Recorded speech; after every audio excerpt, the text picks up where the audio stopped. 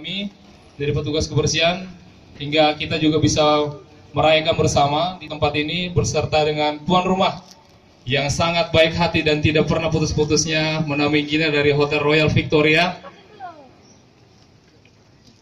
Sudah semua ngumpul? Ayo bapak-bapak, bangku di belakang kayaknya masih belum diisi. Teman-teman dari kebersihan tolong, ayo kita duduk sama-sama jangan di pinggir. Karena di belakang masih belum diisi.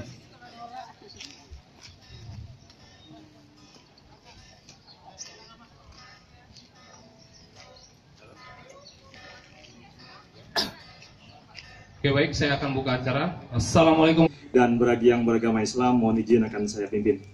Al-Fatihah. A'udzubillahiminasyaitonirrajim. Bismillahirrahmanirrahim.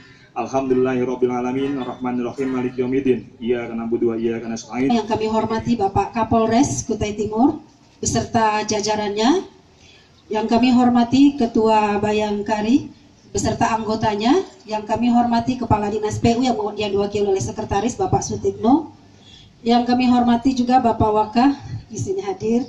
Kemudian juga Pak Basuki selaku Kepala UPTKPP dan tentunya seluruh rekan-rekan saya dari UPTKPP ya dan juga eh, seluruh tim manajemen dari Hotel Royal Victoria. Selamat pagi, selamat datang di Hotel Royal Victoria. Terima kasih.